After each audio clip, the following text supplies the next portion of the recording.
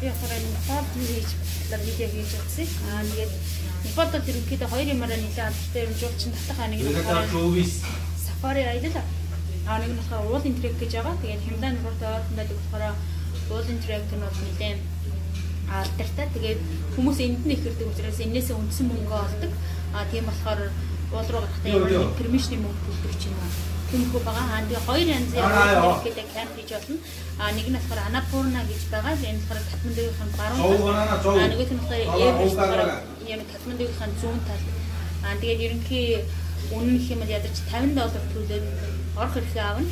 Аа тэгээд зөвхөн гайд хэрэглэхгүйгээр өөрөө трек хийх юм бол аа Анапурна бейс кампыг бол ерөнхийдөө өөрөө 10 хоног Аа тэгээд 100 долларын бол хийчих боломжтой 50 долларын нөгөө 50 долларын болохоор замдаа хоол идэх ам байршлах газруудад төлөвлөж хямдхандаа 100 долларт хийчих боломжтой. Харин Everest Base Camp-ыг бол хямдхандаа 500 доллараар хийх байх. Аа ягаад гэвэл дэлхийн хамгийн аюултай гэх airport руу шууд Катмандугаас нисэн лук луклаа гэж аа тэндээс дэш 14 хоногийн хатгалт хийж Everest-ийн base camp руу. А гэхдээ бол Everest-ийн бол оргил нь бус биш. Everest-ийн base camp-ыг 14 хоногийн 134 км алхаж аялалт хийх юм байна. Сафари гэвэл болохоор үндсэндээ хоёр янзын сафари байгаа. Нэг Guardian болон Chitwan хоёр янзын. Аа тэгээд Guardian болохоор accommodation болон хоол хүнс нь Guardian-гийн ойролцоо хямдхан.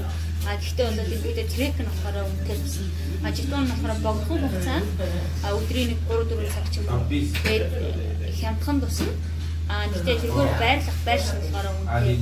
Аа тэгээ ерөнхийдөө бол нэг 60 юм уу 70 доллар тэрийг бол хийчих байх. Аа Тэгээд жидван нь болохоор хүмүүсийн айгүй болчдаг. Ягаад гэвэл лимбини гэдэг байгаа. Тэр нь болохоор буддын төрсэн газар учраас хүмүүс лимбини руу явах замдаа бол жидван national park дамжиж одоо хамгийн гол нь эндээ үүсэх юм тайгер авсан авсан бар барыг ерөнхийдөө үүсэх. Тэр бол бас мэдээж spiritual journey. Бодвол яг интегрэдэг шиг би санаа нь байгаа. Шита болон төрөлхөрийн хийлэнгийн бүхнүүд нь байгаа.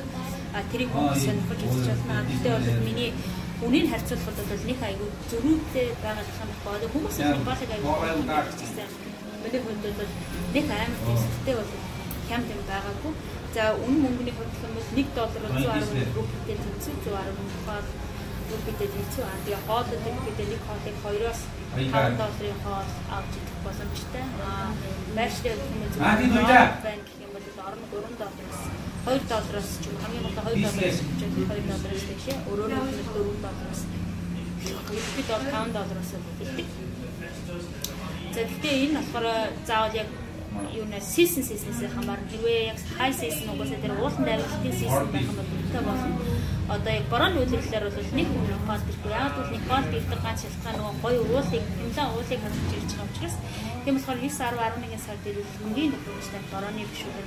А бусад үед бол 12 1 сард а тэрнээс хойш бусад үед нь тийм борооны үйлрэл humidity давчраас нэг тийм алсыг гоё харж чадахгүй. За тэгээ үйлрлийн хөрөлөх юм бол эдгээр үйлрэлүүдэд ирээд а тэрнээс шалтгаалаад үн мөнгө нь өөр өөр байна. Тэгээд Непалд их янз бүрийн activity одоо тэр нэг шүпрээр нисэх эсвэл морь унах эсвэл өөр одоо янз бүрийн тийм activity яг бусад орныхтой ерөнхийдөө төстэй одоо жишээ нь зүгээр шүпрээр нисэх а 100 доллар 30 минут 100 доллар ч гэдэг юм. За тэгээд safety-гийн талаар эрүүл ахуйн талаар ярих юм бол Непал яг гоо яг ерөнхийдөө л интеллекттэй төстэй учраас нэг тийм эрүүл ахуйн шаардлага хангасан юм байхгүй.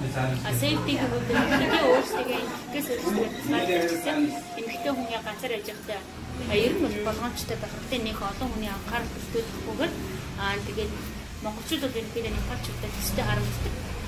Уулийн Непалчууд Непалчууд төстэй учраас тийм болохоор эгдээ өөрийгөө нэг жоохон зөв аваа явуучих юм бол нэг амар жуулчин гэж мэддэхгүй явах боломжтой.